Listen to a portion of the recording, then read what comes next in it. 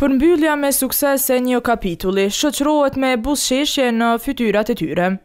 Kaq i lumtur për diplomimin e pesëdhjetë e një policëve të Akademisë së Kosovës për Siguri Publike u shpreh edhe eprori i tyre, Samedin Mehmeti. Kam nderin dhe kënaqësinë, po edhe emocion të posaçëm që sot të jem këtu me juve dhe t'i ndoj këto emocione, Kjo edhe nga arsyeja se isha me juve që nga fillimi. E dikush që vetë për katër vjet ishte pjesë e këtij rrugëtimi, i përmendi disa veprime që do t'i mungojnë tashti. Patjetër që do të na mungojnë debatet në klasë, pritja para derës së byfesë dhe çaji që shijon më s'miri në Vushtrri.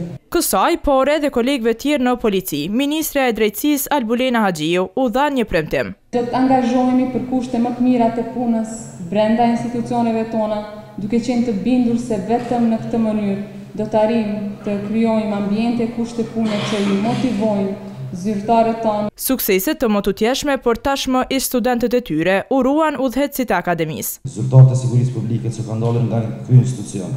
gjithmonë kanë qenë të gatshëm që të përballen me sfida dhe dinamika të paparashikueshme në fushën e sigurisë publike. Ceremonia e së premtes ishte emocionuese edhe për prindërit. Është ndjenjë e veçantë, është emocion, është sukses.